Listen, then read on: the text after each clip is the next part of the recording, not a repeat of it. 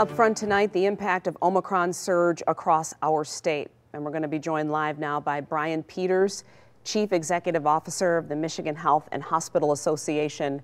Brian, thank you for being with us this evening. Good evening. Uh, thank you for the opportunity. Well, we know Henry Ford Health System starting to see a slight decline in some of its COVID numbers tonight. How would you say other hospitals across the state are doing right now? Well, fortunately, what you've heard from Henry Ford Health System is uh, emblematic of what we're hearing from our member hospitals throughout the state of Michigan, and that is a trend in the right direction after seeing uh, our COVID hospitalization numbers increase day after day after day. Uh, we're finally trending uh, positively, but we are a long ways from being out of the woods at this point in time. What are the greatest challenges for medical facilities right now? Is it staffing levels? A big concern with healthcare workers out sick or?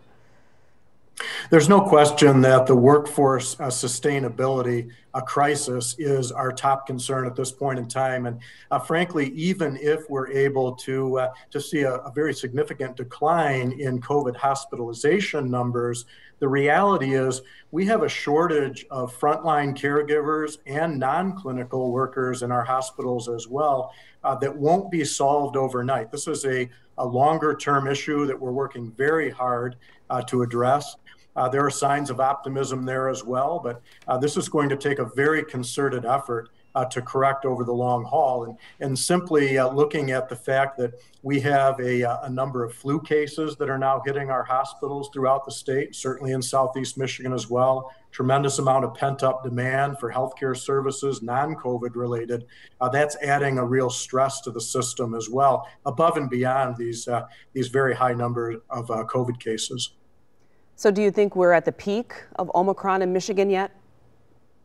I'm very optimistic. It was about a week and a half that we hit our all time record high uh, for COVID hospitalizations of around 4,900.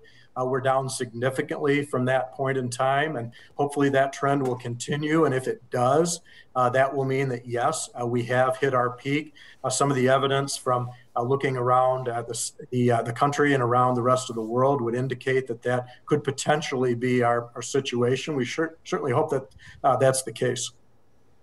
Well, the link for the at-home tests going around, the Biden administration starting to give those out, as well as KN95 masks. Will this help, or is it a little too late